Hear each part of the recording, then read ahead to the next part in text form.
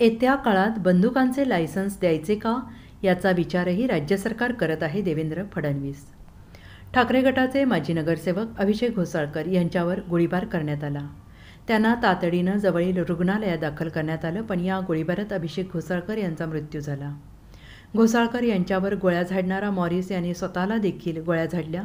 मॉरिसने आधी त्याच्या अधिकृत फेसबुक अकाउंटवर फेसबुक लाईव्ह केलं. त्यांनी समाजासाठी आम्ही एकत्र आल्याचं म्हटलं. अभिषेक घोसाळकर यांचं बोलणं संपून उठत असताना त्यांच्यावर अचानक गोळ्या झाडण्यात आल्या. गोळ्या झाडल्यानंतर मॉरिसनं स्वतःवर गोळ्या झाडून घेतल्या. आता उपमुख्यमंत्री देवेंद्र फडणवीस यांनी प्रतिक्रिया दिली आहे. देवेंद्र फडणवीस म्हणाले की काल घडलेली अभिषेक घोसाळकर घटना ही अतिशय दुःखद आहे. एका तरुण नेत्याचे असे निधन होणे गंभीर आहे.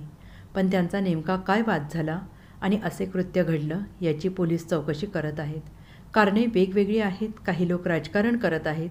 या घटनेचे राजकारण योग्य नाही. या घटनेमुळे कायदा सुव्यवस्था बिघडली आहे हे म्हणणे योग्य नाही. बंदुकांना लायसन्स देणे योग्य आहे का? लायसन्स कोणी दिले? येत्या काळात बंदुकांचे लायसन्स द्यायचे का? याचा विचारही राज्य सरकार करत आहे. घोसाळकर आणि मॉरिस काही वर्ष एकत्र काम करत होते. आपापसातील वादातून हा प्रकार घडला. आता एखाद्या गाडीखाली श्वान आला तरी ते राजीनामा मागतील, पण या घटनेचे कोणी राजकारण करू नये, असे फडणवीस म्हणाले. कल यूबीटी के नेता अभिषेक घोसाळकर इनकी जो हत्या हुई और हत्या के बाद जिन्होंने हत्या की, वो मॉरिस, इन्होंने भी अपने आप को गोली मार ली।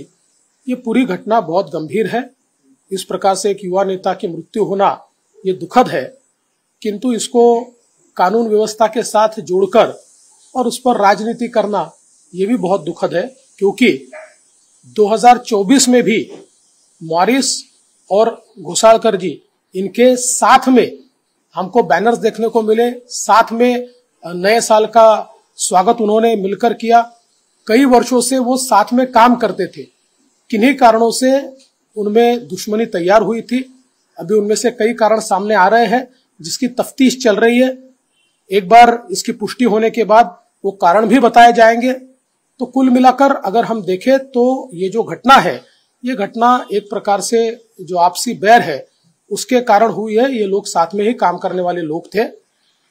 लेकिन इस घटना को देखते हुए राज्य सरकार ने जो गन लाइसेंसेस इश्यू हुए हैं, उसके बारे में या फिर अगर बिगर लाइसेंस की कोई गन अगर मिलती है तो वो कहाँ से आई है? ये सारी चीज़ों की तफ्तीश करने के आदेश दे दिए।